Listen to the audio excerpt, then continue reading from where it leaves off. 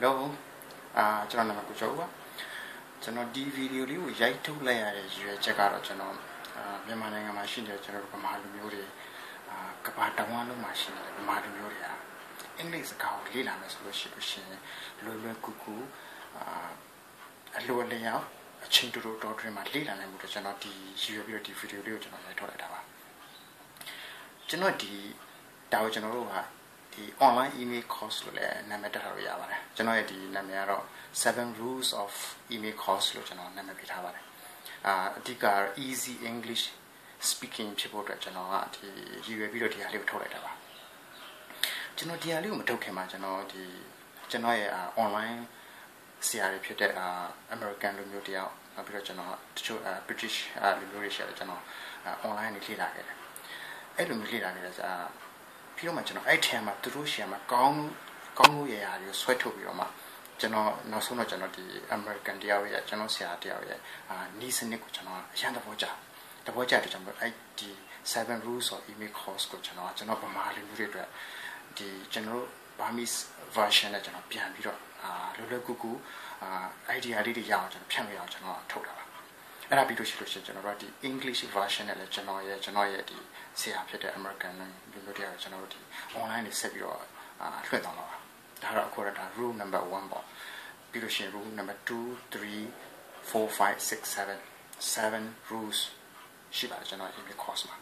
အဲ့7 rules ကိုတော့ကျွန်တော်တို့ကတိတိကျကျနဲ့ကျွန်တော်တို့လူမျိုးတွေလိုက်နာပြီးတော့ ဖြည့်ရှင်းသွားမယ်ဆိုလို့ရှိလို့ရှိလို့ရှိရင်အဲလုံးမသွားမယ်လုံးသွားမယ်ဆိုလို့ရှိလို့ရှိရင်ကျွန်တော်အင်္ဂလိပ်စာကိုကျွန်တော်တို့က6လသုံးဖို့တစ်နှစ်တော်အတွင်းမှာဒီ American နဲ့ British တွေနဲ့ communicate လုပ်တဲ့နေရာမှာအရန်လွယ်လွယ်ကူကူနဲ့ confident ရှိရှိအာကျွန်တော်တို့လုပ်တော့ရမှာပါတိုးတက်သွားမှာလို့ကျွန်တော်ယူပြောရပါတယ်ကျွန်တော်လည်းဒီလိုပဲကြိုးစားခဲ့ပါတယ်ဒါကတော့ကျွန်တော်စင်ကုန်မှာရှိကျွန်တော်အဖာချမှာပါ okay ကျွန်တော်ရဲ့ rule number 1ကဘာလဲဆိုလို့ရှိလို့ရှိရင် study phrases do not study individual words okay english စကားကိုလေ့လာမယ်ဆိုလို့ရှိလို့ရှိလို့ရှိရင် phrases phrases ပြီးတဲ့စကားစုတွေကိုလေ့လာမယ် meaning လုံးကြီးဆိုကျွန်တော်တို့ကျွန်တော်ကျွန်တော်ငယ်ငယ်တုန်းကနေတော့အခုချိန်ထိပေါ့နှစ်ပေါင်းအာ10 20 30 meaning တွေကိုအလွတ်ချမှတ်ခဲ့တယ် phrase တွေကျတော့ကျွန်တော်တို့မချမှတ်ကြဘူးဥပမာဆိုပါစို့ HAT hate မောင်းဒီမကြိုက်ဘူးကျွန်တော်ငငယ်လေးလေးလေ့လာခဲ့ hate hate hate hate HAT hate မောင်းဒီမောင်းဒီမောင်းဒီကျွန်တော်လေ့လာခဲ့နိုင်ငံခြားသားနဲ့တွေ့လဲတွေ့ရောကျွန်တော်တို့ကရုပ်တရက်ထားပြီးအင်္ဂလိပ်စကားကိုပြောလိုက်တယ် sentence ကိုပြောလိုက်တဲ့အချိန်မှာ John hate ice cream အဲ့မှာကျွန်တော်ကစပြီးတော့မှားရတာပဲ John က subject နဲ့ subject နဲ့ဆိုလို့ရှိရင် hate ကအနောက်မှာ s လိုက်ရမယ် subject နဲ့ buff agree ဖြစ်ရမယ်ဒါ present tense လား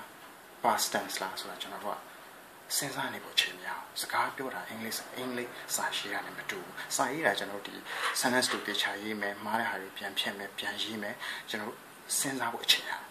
စကားပြောတာကျွန်တော်တို့က automatically respond လုပ်နေရမယ်ကျွန်တော်ဒီအချိန်ရောမရအောင်ဒီမှာကကိုမင်းကုန်းထုတ်လိုက်ဆိုတော့ကျွန်တော်ကချက်ချင်းပြန်ပြောအဲ့လိုချက်ချင်းပြောဖို့အတွက်ဆိုကျွန်တော်တို့ရဲ့ခေါင်းထဲမှာ phrases တွေကို import လုပ်ထားရမယ် memorize လုပ်ထားရမယ်အချိန်ချင်းအမှန်မှန် deeply ဖြစ်ဖြစ် study လုပ်ထားမှာ phrase တွေကို study လုပ်ထားမှာကျွန်တော်တို့ကအင်္ဂလိပ်စကားပြောတဲ့အချိန်မှာ easily automatically quickly လွယ်လွယ်ကူကူမြန်မြန်ဆန်ဆန်နဲ့ကျွန်တော်တို့မှန်မှန်ကန်ကန်ပြန်ထွက်လာ phrases တွေကလည်း phrases တွေရဲ့ powerful ဖြစ်တဲ့အချက်ကလည်း grammar ကိုပါတခါတည်းလေ့လာပြီးဖြစ်သွားတယ်ဥပမာဆိုပါစို့ a piece of cake a piece of cake ဆိုလို့ရှိလို့ရှင် a piece အပိုင်းစားတယ်လေ of e cake ကင်မိုလေးအပိုင်းစားတယ်လေ ခွဲခြားထုတ်လိုက်လို့ရှင်သူတချို့ဒီစကားစုတွေမှာအတိတ်ပဲလုံးဝမရှိတော့ကင်မိုကစားမှလို့လွတ်ပြရမှလို့ဖြစ်သွားတယ်ရည်စရာဖြစ်ပြောတာပါအဲ့စကားစုအစုတွေကစကားစုလိုက်မှသာလေသူကအတိတ်ပဲရှိတယ် powerful ဖြစ်တယ်တိကျတဲ့အရန် strong ဖြစ်တဲ့အဖြစ်ရတယ်လွယ်ကူလေးလွယ်ကူလွယ်ကူလေးပါဆိုတဲ့ပြောရတယ် piece of cake ဒီပြဿနာလေးဖြေရှင်းတဲ့နေရာမှာအရန်လွယ်ကူပါတယ်ဖြေရှင်းနိုင်တယ် ဆိုတဲ့အဓိပ္ပာယ်တရားတယ်အဲ့တော့ကြာမှလည်းကျွန်တော်ဒီ foreigner နဲ့စကားပြောတဲ့အချိန်မှာကိုပြောတဲ့အဓိပ္ပာယ်ကိုသူတို့ကယုံယုံကြည်ကြည်လက်ခံရအဲ့ဒါကိုကျွန်တော်တို့ communication လုပ်တဲ့မှာ strong ဖြစ်တယ် confident ရှိတယ်ဆိုပြီးကျွန်တော်တို့ကပြောရတာ။မဟုတ်ဘူးဆိုလို့ရှိရင်ကျွန်တော်တို့အဲ့လို phrases တွေမှာတေချာမလေးလာထားလို့ဆိုရှင်စကားပြောနေအောင်ကျွန်တော်တို့ကအာကိုပြောတဲ့စကားမှန်မှန်မသိမှန်မှန်မသိရဲတဲ့ရဲတဲ့နေမရှိတယ်လို့ shit တယ်လို့လို့အထူးသဖြင့်လူတကာရှေ့မှာ presentation လုပ်တဲ့အခါမျိုးပေါ့ဗျာအဲ့လိုမျိုးတွေမဖြစ်အောင် တိုးတက်အောင်ဆိုရင်ကျွန်တော်တို့ phrases တွေကိုလေ့လာပါ do not study individual words တလုံးချင်းစီကိုမလေ့လာပါနဲ့ဒီ phrases တွေမှာအာအရှမ်း powerful ဖြစ်တဲ့အချက်တွေကဘာလဲဆိုဥပမာဆိုပါဆိုကျွန်တော်ခုနပြောခဲ့တဲ့ John hates ice cream hate တလုံးနဲ့ကိုကျွန်တော်တို့မကြက်ထားဘဲနဲ့ John hates ice cream ဆိုလို့ရှိရင် automatically grammar ကိုလည်း correct လုပ်ပြီးသားဖြစ်သွားတယ် John က hates လိုက်ရမယ်ဘယ်သူက John လဲ ဘာကိုမကြိုက်တာလဲဆိုတော့ဒီ information စကားစုမှာ information ရတိုင်းဝိုင်းပြီးပါတယ်အဲ့လိုမျိုး information တိုင်းဝိုင်းပါတာကိုကျွန်တော်တို့အုံနောက်ကအမြဲတမ်းအမှတ်ရလွယ်တယ်နော်အဲ့ဒါကြောင့်ခုနအာပုံမှာဆိုတော့ကျွန်တော်တို့ဘာဖြစ်လဲစကားစုတွေကိုလေ့လာတယ်ဒီကိုသုံးတယ်လဲဆိုလို့ရှိလို့ရှိရင်ကျွန်တော်တို့ဒါ natural way English လိုမျိုးပဲဖြစ်ဖြစ် American လိုမျိုးပဲဖြစ်ဖြစ် British လိုမျိုးဖြစ်ဖြစ်ကလေးလေးငယ်ကစားက grammar လည်းမသိဘူး စာဆိုတာလည်းဘာမှမသိဘူး okay စကားလည်းမပြောတတ်တယ်အဲ့ချိန်မှာသူ့ရဲ့အဖေသူ့အမေတွေကနေပြီးတော့ကလေးလေးနေကောင်းလားအာသမင်းစားခြင်းပြီလားနှုတ်ဆုပ်ခြင်းပြီလားခေါ်ပါအောင်ဖြစ်ဖြစ်ခေါ်ပါအောင်မိမိဝိုင်းပြီးတော့တင်ကြအဲ့ချာကလေးလေးကဒီ phrases တွေကိုကြားနေတယ်ပို့တယ်နားရနားရနားရနားရ phrases ကြားတယ်ဖေးမီလို့ပြန်မျက်လုံးထဲတွေမြင်နေရတနစ်ကျော်နှစ်နှစ်လဲကြာကြာကလေးက automatically easily ပြန်ထွက်လာဖေးဖေးမိမိထ မင်းစားမယ်တေးပေါက်ချင်တယ်ယူချင်တယ်အပေါ်သွားချင်တယ်လေသွားချင်တယ်ပေါ့ဗျာ okay အဲ့လို automatically ပြန်ထွက်လာတယ် grammar လည်းကြာလို့စကားစုတွေလည်းမှန်လို့အဲ့တော့ကျွန်တော်တို့ကအဲ့ဒါကြောင့်လို့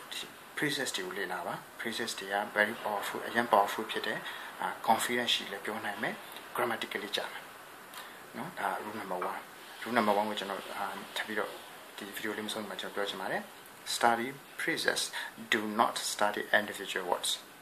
စကားစုပဲလေ့လာမယ်တလုံးချင်းစီကိုလေ့လာအောင် okay အာနောက်ထပ်ကျွန်တော်ဒါလေးပြလို့ရှိလို့ရှိရင်ဒုတိယဖြစ်တဲ့ rule number 2ဖြစ်တဲ့ email course ကိုဆက်ပြီးတော့အာထွင်တော့မှာဖြစ်ပါတယ်ကျေးဇူးတင်ပါတယ်